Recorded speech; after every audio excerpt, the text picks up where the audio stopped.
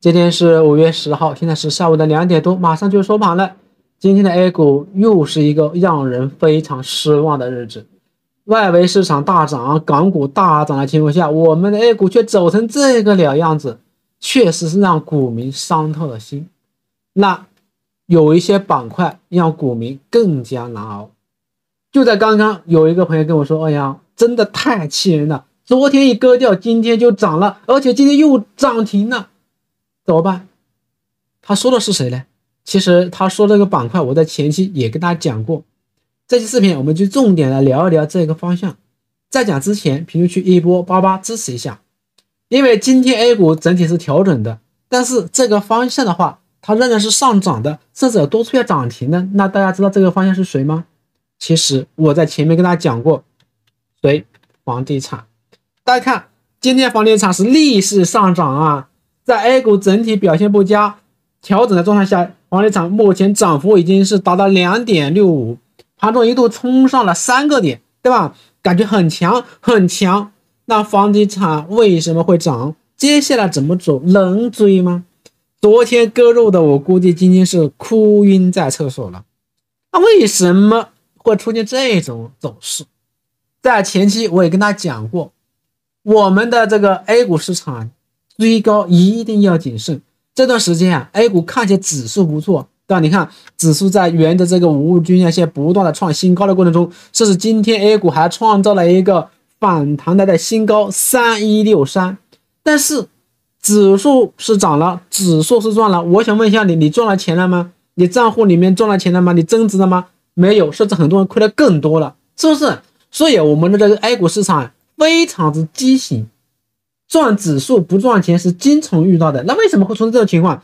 说白了就是它的结构性行情，五千多支票，有利好加持下的，有资金关注的就涨，但没有利好、没有资金关注的就跌一塌糊涂。那只要你一追高，它马上又调整，说明什么？说明它的持续性不好。所以啊，就造成了一个这样的现象：你不追吧，你的票在跌跌跌跌的你受不了。你一追嘛，哎，你又在高位站岗了，它又跌，它又什么？它又反弹，它又从高位掉下来了。所以啊，不管你是追高还是潜伏还是低吸，总是亏钱。但是不是有这种感觉？所以啊，用在这个市场，用在当下这个行情是非常之贴切的。那回到这个盘面啊，我跟他讲了，房地产它就是这种状态。大家看，房地产在逆势上涨，今天在大盘调整下它上涨了，有人会想到吗？我相信没有人会想到啊。尤其是在前天、昨天，是吧？在整体表现不佳的情况下，我相信大家应该是非常郁闷的。我记得在昨天的时候，有一个人跟我说：“哎呀，他说在什么，在周三啊，周三这一里下跌的时候啊，在这里下跌的时候，他在这个位置啊，在这个位置直接减仓了，直接减仓啊，朋友们，什么意思？本来他在这个位置，对吧？本来他这个位置。”可能是追高了，这个位置甚至是什么重仓的，要到这里下跌，跌到这个位置他受不了了，想割肉又不甘心，好，他就想着，哎，我在这个位置减减仓，对吧？我在这边减减仓，如果你再跌，我就在这个低位加回来，是不是呢？结果呢？你看周四，周四的话直接就是什么？周四的话直接就是高开高走，冲高了，对不对？那么他在这个低位减仓的，在这个低位减仓的，他是不是？没有机会低位买回来呀，所以他自然而然就什么，自然而然就就没有买回来。好，那在这里看到人家一冲高了，一拉高了，是吧？他就想着，哎呀，干脆点，是吧？少亏一点，我把它割掉算了。等你割掉，大家看，今天直接来一个大阳线，放量了，反包了。哎，哪怕你在这个位置追高的，今天甚至什么，甚至有钱赚。所以啊，这个节奏，这个思路啊。搞得大家心里都没底了。那么房地产为什么这段时间表现的这么什么这么频这个频繁异动？其实我在前期跟大家说过，这个位置的房地产，一个它位置比较低，另外一个什么这段时间利好比较多，房地产利好比较多。什么利好比较多？就是松绑。现在很多的大城市啊，你去买房子的话，它不它不给你受限制的，甚至还给你落户，对不对？这是以前想都不敢想的。所以啊，这些利好加持下，房地产迎来资金的异动。这里的话，后面有机会迎来超跌反弹，是不是啊？好，那大家看一下，我在前期也跟大家讲过，房地产这个方向迎来反弹了，重心在哪里？我们来看今天涨停的票，大涨的票，今天目前为止有五个票涨停。那我们看啊，天地源，天地源的话，今天是直接高开拉涨停。像这种票的话啊，是比较难把握的。就是说啊，你在昨天或者说在今天开盘之前，你都是很难把握住的。你不会知道它会涨，对不对？哎，像这种就是属于什么？属于超跌反弹。但有些票是能够把握住的啊，像这个滨江的话，这种也是比较难把握的啊。但是你发现一个特点没有？它这段时间是不是放量了？放量了以后，大家发现没有？我们可以理解为是不是反转？所以啊，朋友们啊，接下来这种票的话，我们可以理解为它是一个底部的反转，至少这个量能，这个量能比这个量能要大，啊？跟这里的量能甚至比这个量能大，那么它是不是被对标这个位置去？对标这个位置去？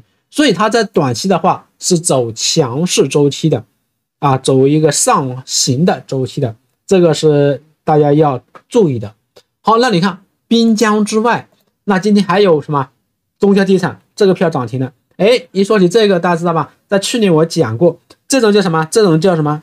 人气票，妖股系列，股性非常活跃，只要什么板块一动，只要板块一拉，它就有机会什么短期迎来爆发。短期迎来一个异动上涨，是不是？那么这种策略、这种思路就出来了。好，那除了这个之外，你看还有这个招商啊，这个的话在近期也是属于一个明显上涨。当然啊，说这么多，你像比如说像天宝，天宝这种是什么？也是属于人气票、妖股系列，在前几天出现上涨的时候，你看这里出现回踩，回踩后又出现一个上涨。这里我再给大家提醒一下啊，急拉冲高的时候，不要盲目的、轻易的去顶。你实在实在喜欢，实在什么看好，等它回踩缩量的时候去做潜伏。我常常跟大家讲，就是这种类型的，急拉冲高，拉到前高压力位怎么样？考虑减仓，考虑撤退，要等它回踩回踩缩量的时候，或缩量到下面的支撑位附近，我们去做个低吸。你要它出现大阳线了，出现这种什么快速的拉升了，急拉了，那我们就可以考虑什么？考虑落袋。考虑这个减仓，这节奏这策略不就出来了吗？你看，像这个天宝就是这种类型的，是不是？好，那还有包括空港啦，是吧？这些都表现比较强势。所以朋友们在操作上买地一定要记住啊，近期的房地产反复的出现异动。另外一个，你看一下我刚才给大家讲的这些票啊，或者说这些上涨居前的票，其实他们有些都是是吧？出现明显的放量的，那说明什么？说明这段时间有资金在什么在进场，有资金在。抄底有资金在吃货，那接下来我们就以什么？就以短线思维来看，或者说以趋势的这个做法来做，回踩缩量到支撑位，我们就可以考虑博弈，跟踪博一个反冲反弹是没有问题的。综合来看啊，房地产在这个位置迎来了个的底部的放量，这里我们可以理解为是什么？是资金在做一个兜底的动作，在做一个超跌反弹的动作。所以短期的话，它还是会有一定的机会的。但是啊，朋友们一定要记住，不要盲目的、轻易的去追高，也并不是所有的房地产都可以去啊。后排的话，你看仍然有一些票是下跌的，仍然有一些票是跌停的，发现没有？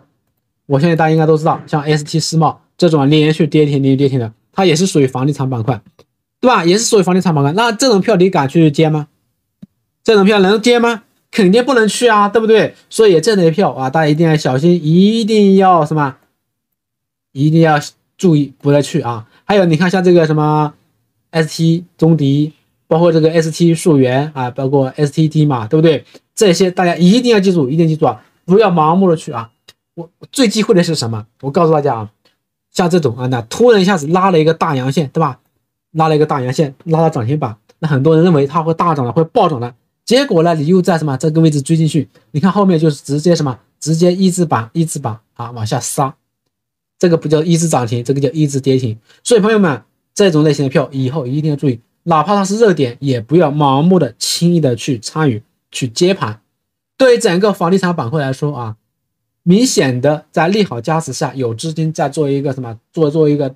呃，一个兜底超跌反弹的走势，所以接下来你要记住，如果说有调整有杀跌，我们可以找前排人气票博个反抽反弹是可以的，但是切记切莫去追高啊，这大家一定要注意的。嗯，就像我刚刚开头讲的，如果你追高节奏错了，你想想，不仅仅赚不到钱，还是亏钱，甚至大亏。大家觉得对还是不对呢？好，这期视频我们到这里就结束了。